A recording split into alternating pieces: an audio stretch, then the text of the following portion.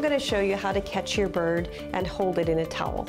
That's always very important to be able to catch your bird because you may need to transport it to the veterinarian or if your bird injures itself or gets out of his cage, you want to be able to handle your bird um, correctly so you don't hurt it. It's very important not to constrict the chest of a bird when you're holding it.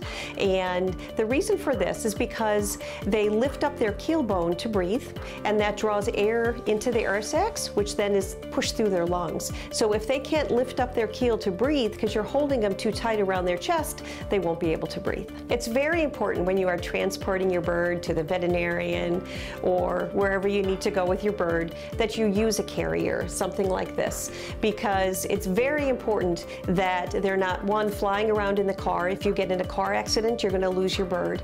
But two, also, when you go into the veterinary clinic, you need your bird to be protected. You don't want him just sitting on your shoulder like this or inside your coat because there may be lots of other animals in the weaning area which may startle your bird and cause them to fly off your shoulder and then your bird may become injured. A good way to capture your bird in a towel is have the towel already on the table and place your bird on top of it right next to your body and then very quickly you're just going to cover him like that and then reach down and grab for his head. His head is right here and I'm holding him underneath his neck. And you can see that I'm not compressing his chest at all.